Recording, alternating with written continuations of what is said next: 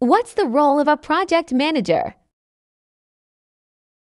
One of the most important things, in my opinion, for the project manager is information distribution and basically processing information. Project management to me is a lot about dealing with information because like I mentioned, you are not the expert for everything that's happening on your project, but you are the connecting part between the client and everyone working on your project. So if the client has a certain request, they give it to you and then you need to see who is impacted by this information, who needs to do something, and then you need to distribute the information. And then all your team members, they can be asking questions that maybe you don't have an answer to. So you need to go back to the client, which again means that you need to process their information and evaluate what, what you have to do with the information, and then maybe go back to ask the client or troubleshooting on your own. So that's why you need to be very good with information, whether it comes through email or Slack or whatever you have. Information processing is key for PMs.